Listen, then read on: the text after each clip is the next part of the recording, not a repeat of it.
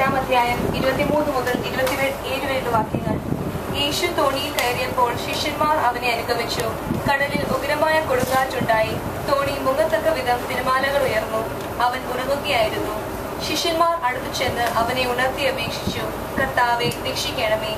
ഞങ്ങൾ ഇതാ നശിക്കുന്നു. അവൻ പറഞ്ഞു അല്പവിശ്വാസികളെ നിങ്ങൾ എന്തിനു ഭയപ്പെടുന്നു? അവൻ എഴുന്നേറ്റ് കാറ്റിനെയും കടലിനെയും ശാസിച്ചു.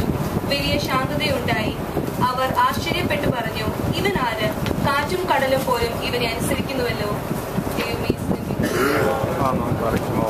വിശുദ്ധ സുവിശേഷങ്ങളിൽ നാം രണ്ട് ഗലീലി കടലുമായിട്ട് ബന്ധപ്പെട്ടുള്ള രണ്ട് അത്ഭുതങ്ങൾ കാണുന്നുണ്ട്. ഒന്ന് നാം ഈ വായിച്ചു കേട്ട ഭാഗം. അത് യേശുവും ശിഷ്യന്മാർ ഒന്നിച്ച് യാത്ര തുടങ്ങി അതിനിടയ്ക്ക് ഉണ്ടാകുന്ന കാറ്റിന്റെയും കോടിന്റെയും ഫലമായിട്ടുണ്ടാകുന്ന കടലിലെ തിരമാലകൾ ഉണ്ടാകുന്ന ബുദ്ധിമുട്ടുകൾ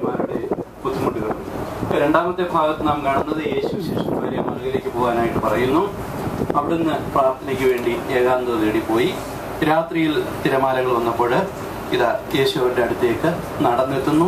അവിടുന്ന് വഞ്ചിയിൽ കയറിയപ്പോൾ കാറ്റും കോളും അടങ്ങുന്നു. ശിഷ്യന്മാര് അപ്പോഴും യേശുവിന്റെ പത്രോസ് അപ്പോഴാണ് കർത്താവിനോടൊപ്പം നടക്കുവാൻ.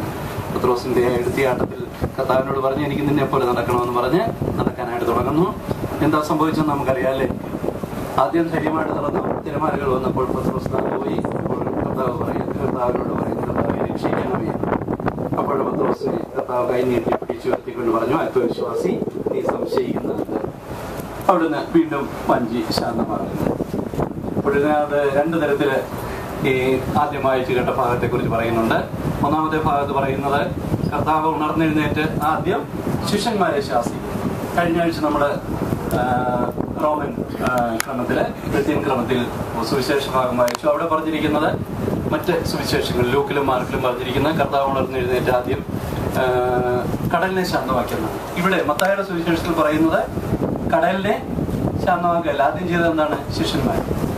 ഞാൻ കഴിഞ്ഞ ആഴ്ച പ്രസംഗം പറഞ്ഞുകൊണ്ട് കേട്ടവരൂടെ ഉണ്ട് എന്ന് തോന്നുന്നു. ജീവിതത്തിന്റെ ഒരു പ്രതീകമാണ് ഈ കടൽ. നമ്മുടെ ലോകത്തിന്റെ പ്രതീകം. നമ്മുടെ കൊച്ചു ജീവിതമാണ് ഈ വഞ്ചി നൗക എന്ന് പറയുന്നത്. ലോകത്ത് എപ്പോഴും പ്രശ്നങ്ങളുണ്ട് നമ്മുടെ ജീവിതത്തിലും. അപ്പോൾ ആദ്യം ശാന്തമാകേണ്ടത് നമ്മുടെ മനസ്സാണ്. കാരണം നാം ആരോടൊപ്പമാണ് ജീവിതയാത്ര നടത്തുന്നത്. നാം വിശ്വസിക്കുന്ന യേശുവിനോടൊപ്പം. നമ്മുടെ ജീവിത വഞ്ചിയുടെ ജീവിതത്തിന്റെ അമരത്ത് യേശു ഉണ്ട് എന്ന് നമുക്ക് ഉറപ്പുണ്ടെങ്കിൽ നമ്മൾ ഭയപ്പെടേണ്ട എന്ന സന്ദേശമാണ് രണ്ടിലും.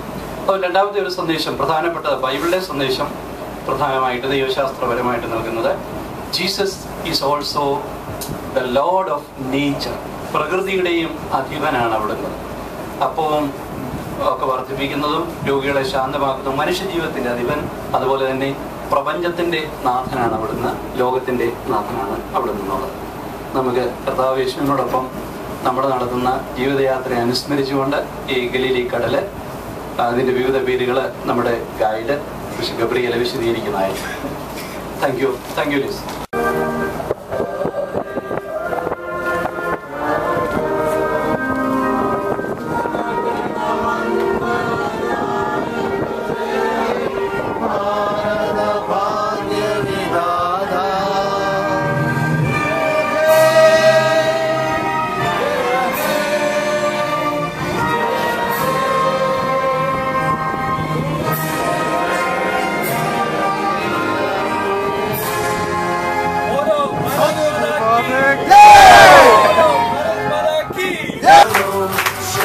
palenu be alodu ya se shalom ya se shalom shalom aleinu be alodu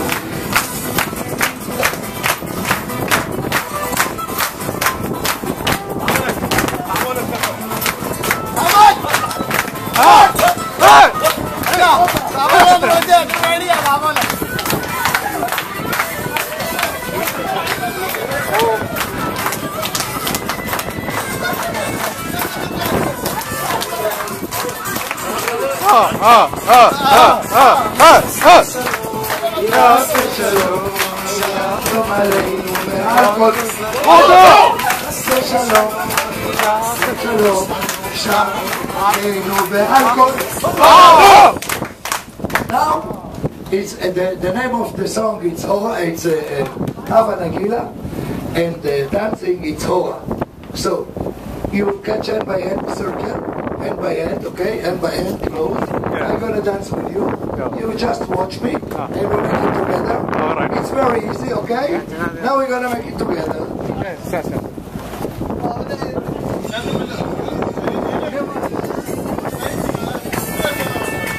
That's it. Okay.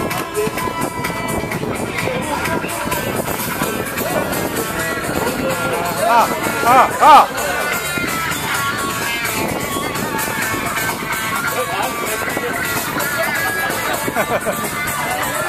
oh.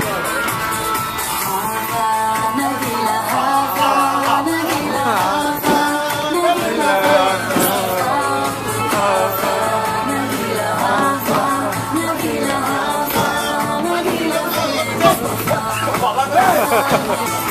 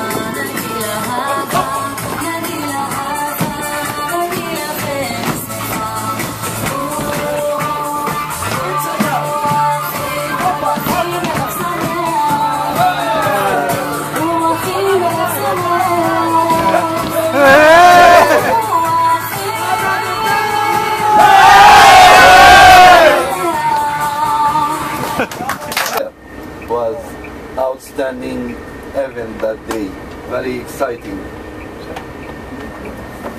ആം, രണ്ടായിരത്തി ഒൻപതിൽ ബെനഡിക്ട് പതിനാറാമൻ മാർപ്പപ്പ ആം, നാസ്രത്ത് വിസിറ്റ് ചെയ്തു. അതിന് മുമ്പ് നമുക്കറിയാവുന്ന പോലെ പോളാറാമൻ മാർപ്പപ്പ ആയിരത്തി തൊള്ളായിരത്തി അറുപത്തിനാലിൽ വന്നു. പക്ഷെ അന്ന് സ്റ്റേറ്റ് ഓഫ് ഇസ്രായേലിനെ റെക്കഗ്നൈസ് ചെയ്തിട്ടില്ല. അത് കഴിഞ്ഞ് ആയിരത്തി തൊള്ളായിരത്തി തൊണ്ണൂറ്റി ഒൻപതിൽ മാത്രമാണ് സംഭവിക്കുന്നത്. ജോൺ ബോൾ രണ്ടാമന്റെ കാലത്ത് അദ്ദേഹം ഇവിടെ വന്നിട്ടുണ്ട്.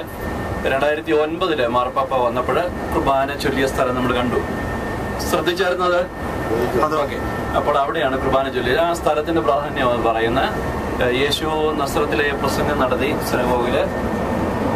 ലൂക്കോസിന്റെ സുവിശേഷം നാലാം അധ്യായത്തിൽ. മെസ്സിയായെ കുറിച്ചുള്ള മിഷിയായെ കുറിച്ചുള്ള പ്രവചനമാണ് ഐശിയ പ്രവാചകങ്ങൾ വായിച്ചത്. അതിനുശേഷം പറയുന്നു നിങ്ങൾ കേട്ടിരിക്കെ തന്നെ നിങ്ങൾ കേട്ടിരിക്കെ തന്നെ ഈ തിരുവചനങ്ങൾ പൂർത്തിയായിരിക്കുന്നു. അത് കേട്ടപ്പോൾ ആളുകൾക്ക് സമ്മതിക്കാൻ സാധിച്ചില്ല. ഇവൻ ഈ തച്ചന്റെ മകനല്ലേ എന്ന് പറഞ്ഞ് അവിടുത്തെ നിരസിക്കുന്നു. അവിടുത്തെ വചനങ്ങൾ കേട്ട് അവിടുത്തോട് ക്ഷുഭിതരായി ഈ തച്ചന്റെ മകൻ എങ്ങനെ മിഷിഹാകുന്നത് എന്ന് ഉള്ളതാണ് അവരുടെ ചിന്ത. അങ്ങനെ യേശുവിനെ നഗരത്തിന് പുറത്തേക്ക് കൊണ്ടുവന്ന് ഒരു മലമേൽ നിന്ന് തള്ളിയിടാനായിട്ട് ശ്രമിക്കുന്നു. യേശു അവരുടെ ഇടയിൽ നിന്ന് രക്ഷപ്പെട്ടെന്നല്ല പറഞ്ഞിരിക്കുന്നത്. അവരുടെ ഇടയിൽ നിന്നും മറഞ്ഞുപോയി അല്ലെ മാറിപ്പോയി എന്നാണ് പറഞ്ഞിരിക്കുന്നത്. അങ്ങനെ ആ സ്ഥലത്താണ് കുർബാന ചൊല്ലിയത്. നമ്മൾ താഴെ ഇടതുവശത്ത് കണ്ട സ്ഥലത്താണ് ആളുകൾ പാർക്കിംഗ് അറുപതിനായിരം പേരുണ്ടായിരുന്നു. പാർക്കിങ്ങിന് അവർക്ക് സൗകര്യം കൊടുത്തിട്ട് പബ്ലിക് ട്രാൻസ്പോർട്ടേഷൻ ആണ് മുകളിലേക്ക് കൊണ്ടുപോയത്. അറുപതിനായിരം എന്ന് പറഞ്ഞാൽ ഇവിടെ വലിയ നമ്പറാണ് നിങ്ങൾക്കറിയാവുന്ന പോലെ. നമ്മുടെ നാട്ടിൽ നിന്ന് ഒരു ലക്ഷമോ ഒന്നും കൂടുതലല്ല. ഇവിടെ അറുപതിനായിരം വളരെ